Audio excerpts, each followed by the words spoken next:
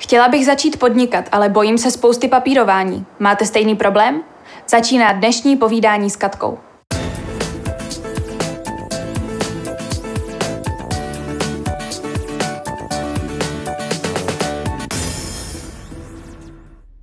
Mým hostem je tentokrát Michal Berg, podnikatel v informačních technologiích a lídr kandidátky zelených v Jihomoravském kraji. Dobrý den, vítejte. Dobrý den. Když se řekne zelení, tak já mám pocit, že vy nejste úplně pro biznisově orientovaní. Je to pravda? Já si myslím, že podnikání a biznis se nevylučuje s ochranou životního prostředí. Pouze takové podnikání musí dodržovat pravidla a zákony, které se tomu, tomu vážou, musí platit daně a samozřejmě v ideálním případě platit dobře i své zaměstnance. Máte představu, jaké podnikání je potřeba podporovat ze strany státu? Bylo by potřeba přestat eh, dotovat výstavbu montoven na zelené louce, nějakých překladišť a podobně a měli bychom se zaměřit spíš na podporu eh, firm, které jsou inovativní, které přináší eh, nové technologie, které přináší dobrá pracovní místa, protože jenom v takových je budoucnost.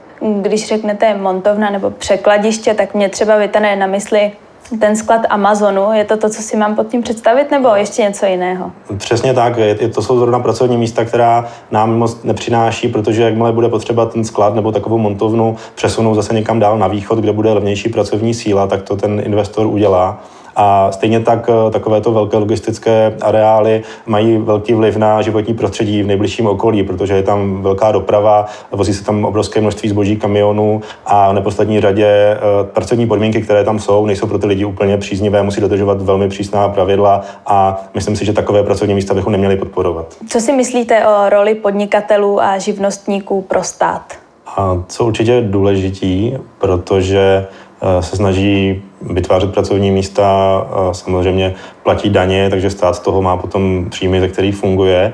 A my bychom jim měli těmto lidem co nejvíc tu situaci zjednodušovat, aby každý si mohl zkusit založit živnost, založit malý podnik.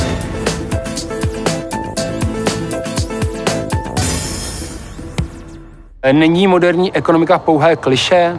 Pro nás je moderní ekonomika taková, která je udržitelná pro lidi i pro přírodu.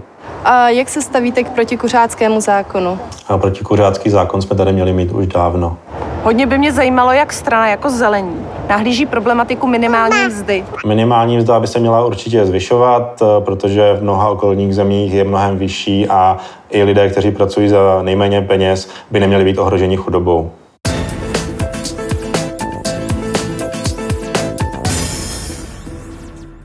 Do čeho se podle vás nejvíc vyplatí investovat v České republice?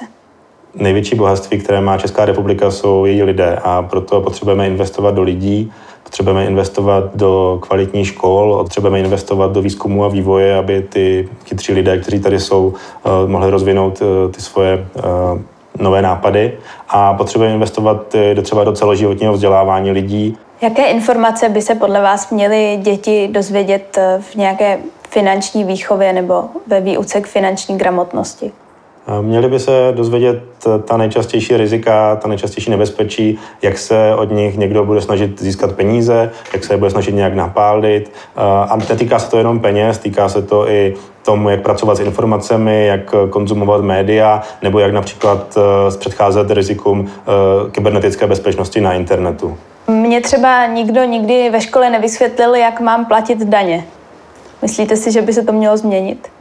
Měli by se děti a studenti dozvědět, k čemu ty daně jsou, proč je potřeba, aby, eh, abychom je platili a zároveň proč je potřeba, aby ty daně byly férové. To znamená, aby někdo neplatil zbytečně moc a někdo zase zbytečně málo.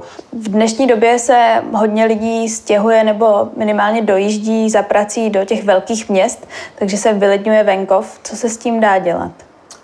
Jednak eh, musíme těm lidem umožnit Eh, se rychle přepravovat, to znamená mít kapacitní železnice, eh, ať už vysokorychlostní, tak nějaké příměstské.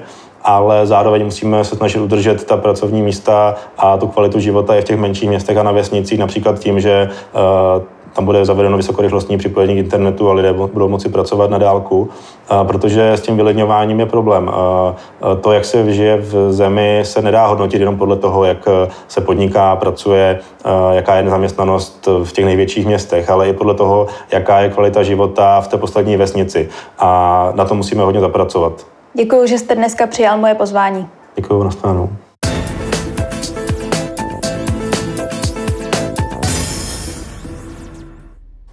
Jestli se vám povídání s Katkou líbí, podívejte se i na další videa. Taky se můžete přihlásit k odběru, aby vám nic neuniklo. Čeká nás totiž spoustu dalších témat a mnoho zajímavých hostů.